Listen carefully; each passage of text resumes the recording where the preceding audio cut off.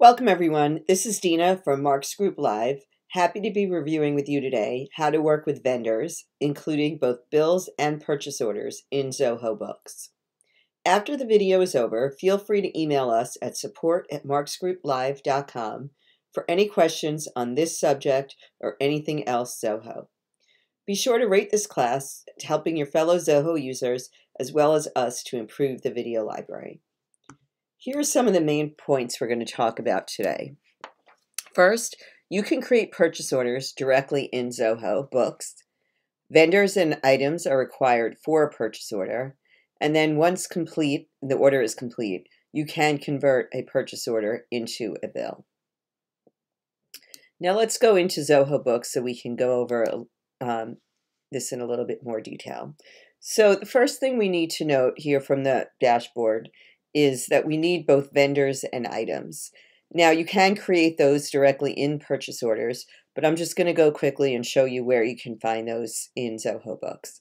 So first, if you click on Contacts under Dashboard, and then you have the down arrow at the top. Right now it's set to vendors. If it had been set to uh, something else, you'd be able to click on vendors and see which vendors you have.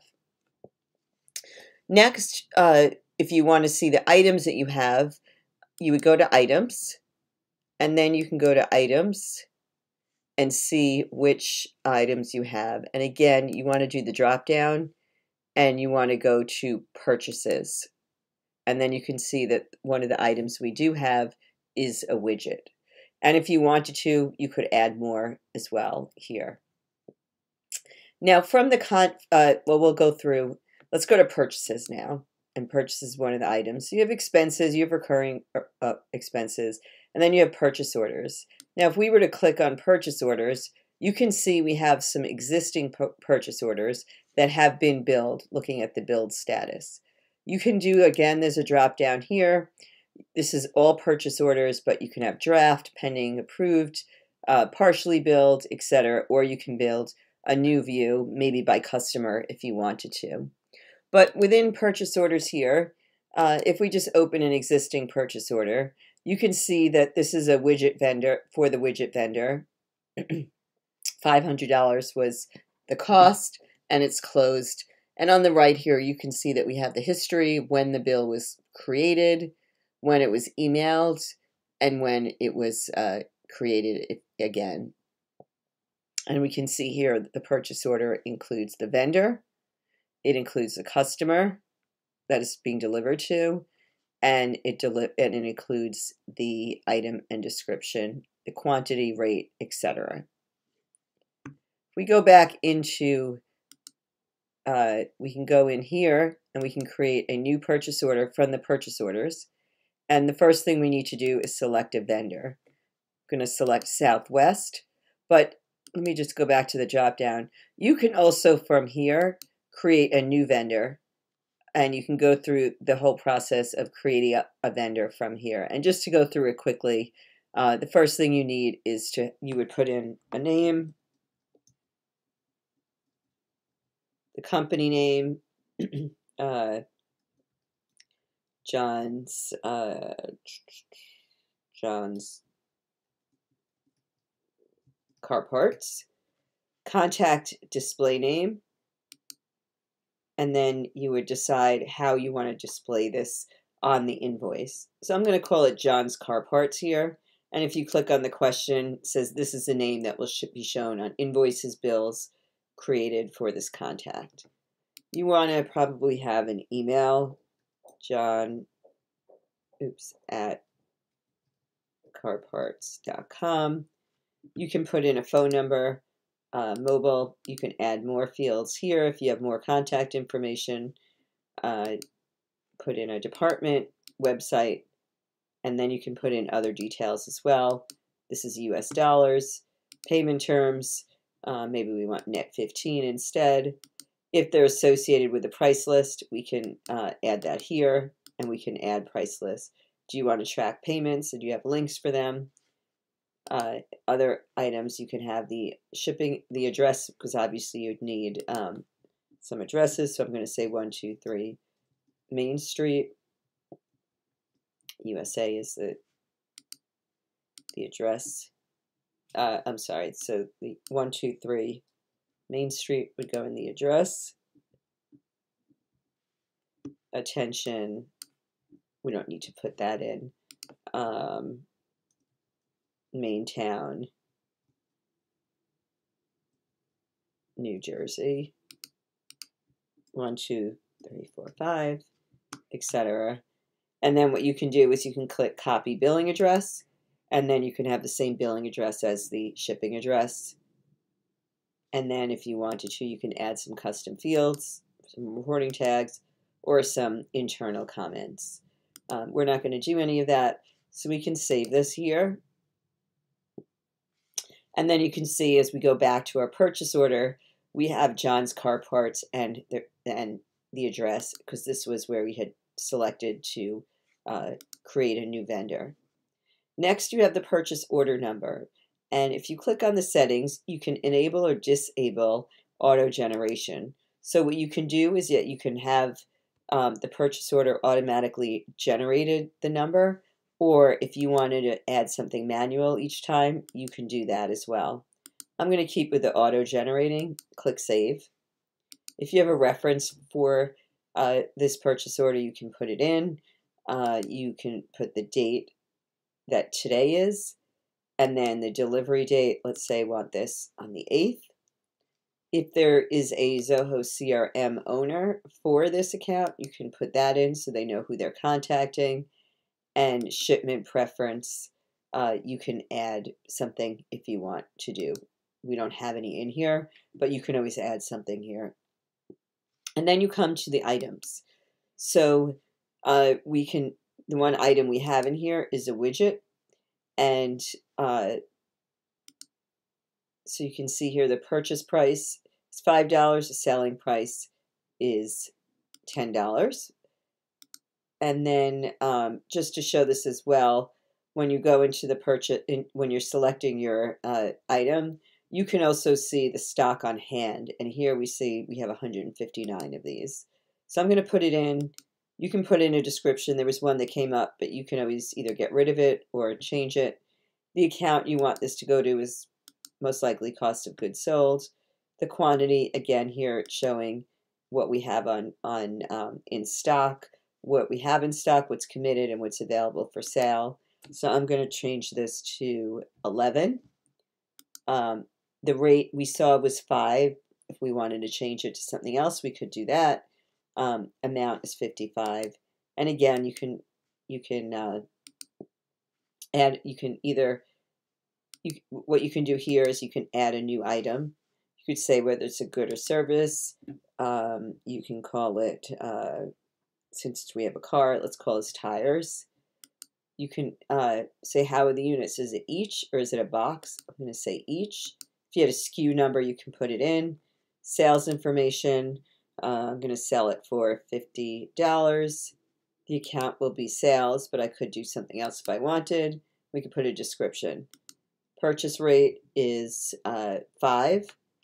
Going to go into cost of goods sold. We want to track this for inventory. And uh, we can make an inventory asset. Opening stock is uh, let's say we purchase, um, we have 12 in there, opening stock rate per unit 5, save. And then you can see you have the tires in here, and because we put some information on how much in hand, we can see that there's 12 on hand here. Oops.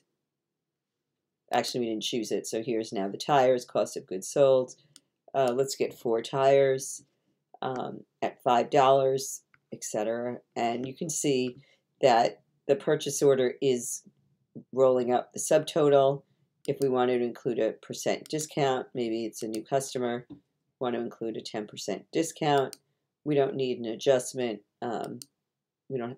We're not going to do any oh discount account. So we'll we'll call it um, automobile expenses. If we wanted to do an adjustment, we could. Um, and then you can see the total after the discount is 67.50. We can also add some terms in. We can have this either delivered to, to us or to the customer. And if it's to the customer, we can select which customer we want to send this to. Notes that will be displayed. And you can also use, this is a standard template. And if you wanted to, if we had other templates, you can choose a different template here. And then you choose who you want to email it to. Uh, select the email address of the contact to send it to. We have that here. And then we can go ahead and save and send the purchase order. So now the purchase order has been added. And here is the email that we can send uh, showing the purchase order here. And we can choose to send it. So now we can see that the purchase order has been sent and it's open because uh, we haven't, um, it hasn't been received back from the vendor. So what you can see here is now on the right side, we have history. We can show that we created this purchase order and then we emailed it to John. And then here's a view of the purchase order and what it looks like. And what you, we could have done is uh, we could have customized this.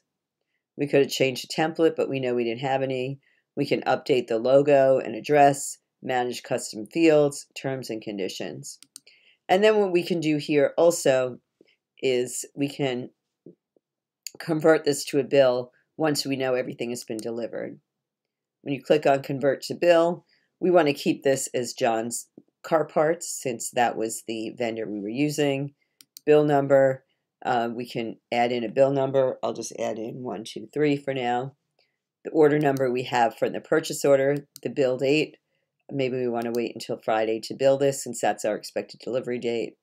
Um, we said the terms were net 15, um, so that put the March 23rd date. If I change it to net 30, you can see the due date changed and you can always go in and change that um, regardless. And then you can see that we have um, the uh, 11 widgets. We can select the customer. And then you can see that although the cost was $5 for this widget, or actually, no, the cost was $5 for 11 um, widgets. So this is, um, we have the discount in here and then you can see that the bill is 67.50 and now we have the bill. So now if we just go look in the bills, let me just uh, save this as open. So just to go back up to purchase orders, you can see that the, the purchase order we just had is now closed because we did convert it to a bill. You can go and view the bill here uh, from this third line on the right side, or we can go into bills and then we can see we have a number of bills here and the most recent one we have is this open one. And then uh, we can make a payment on this. We can record a payment record a payment pay via check pay via ACH here. And then if we go to some of the existing uh, bills that we had, we can see that we have one that's overdue since the due date was December 4th. And then we can go to one that's been paid and it will show you that payment's been made. And this is a paid bill. So we also have here's vendor credits and we don't have any created now, but if we were had the need to have a product returned or canceled, credit note would be received the vendor credit would either apply to future bills or be recorded as a refund. Now, just to finish up here, there's setting. We always have settings, and we can set preferences. And if we do that uh, based on uh, purchases, purchase orders here, we can uh, we can say um, different things. When do we want a purchase order to be closed? We converted a, a purchase order to a bill, so you saw that that closed the purchase order. We can say it when it was received, or we can say when the when the receives and bills are recorded. You have other customization here as well. And then within bills, you have some uh, preferences you can define as well in field customization and custom buttons. And you can always add a new custom field to a bill as well. So if we were to go back in here, uh, if we go back to our main takeaways, as we said, you can create purchase orders directly in Zoho Books. Vendors and items are required for a purchase order, and once you complete a uh, once complete, you can convert a purchase order into a bill.